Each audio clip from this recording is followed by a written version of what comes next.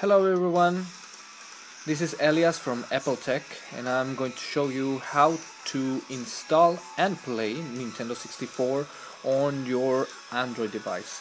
This is an is an HTC Desire HD and as you can see here it's uh, you have to download N64 Player Free. It's a free application. So then you open it and you can select a ROM that is stored on your micro SD card from your computer. So just choose a game. I have uh, Super Mario 64, Mario Kart 64 and Smash Brothers.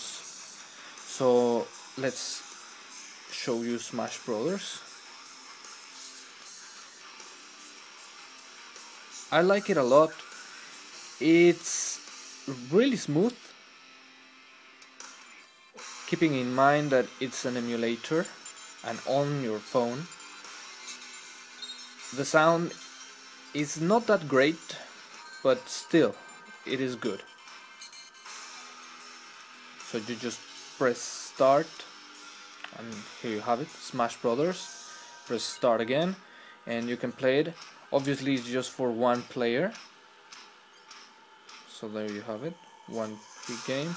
And you can choose your your player. You can choose from a wide range of characters. Mine is normally Samus. So